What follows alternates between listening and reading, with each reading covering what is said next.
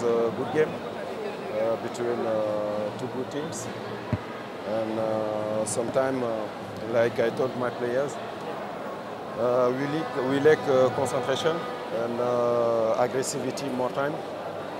But it's a football. Before the game, I told my players we need to control the central zone because the, play, the opponent sometimes have three or four players in this zone to combine uh, between them. And uh, if we have, um, uh, if we lack uh, a reaction, uh, they can. Uh, um, so I think uh, in the in the third, uh, third goal, uh, we lack uh, maturity and uh, concentration. Uh, even uh, maybe uh, uh, there are uh, fault in the, the, the action.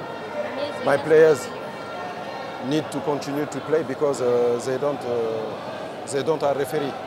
Okay, and uh, we stop to lay, um, to ask for, but the opponent continue to play and uh, uh, they score.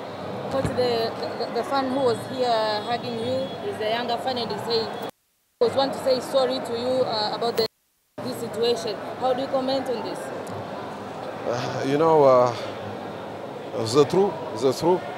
Uh, every day, uh, it uh, it come from the, the kid, from the kid, and um, it's.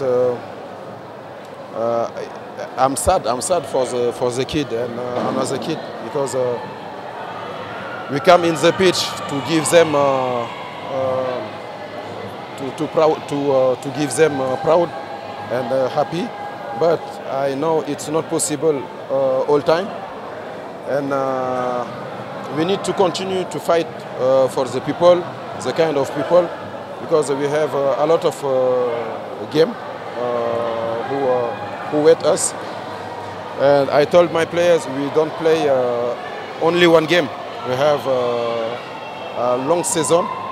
And um, we, we, we, we lose, we lose today. Uh, but uh, we need to continue to stay uh, focused because uh, we have uh, uh, another game who come quickly against Namungo.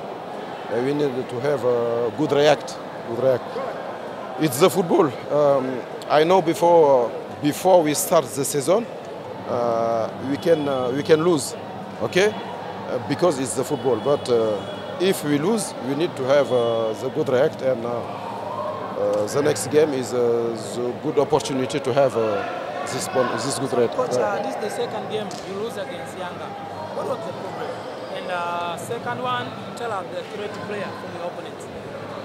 I think uh, uh, everybody uh, saw today uh, the difference uh, between the first game and the second game. We continue our progression. And uh, like I told you before, uh,